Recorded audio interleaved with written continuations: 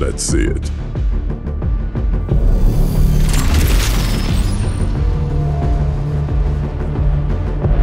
I bring promise of a brighter future for us all.